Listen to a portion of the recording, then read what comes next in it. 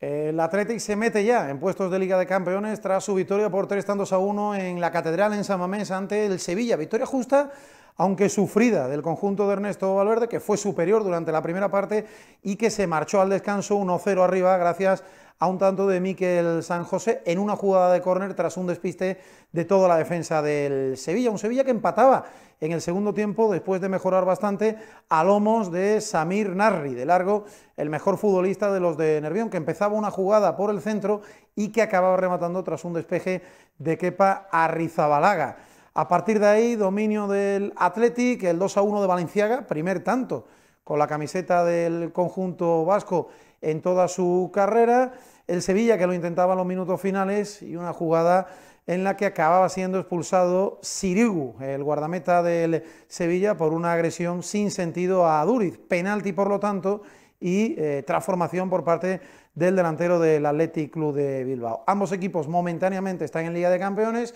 un punto por encima el conjunto vasco que mejora sobre todo a base de resultados en las últimas jornadas y mala imagen nuevamente del Sevilla fuera de casa que lleva ya más de una temporada sin ganar lejos del estadio Ramón Sánchez Pizjuán.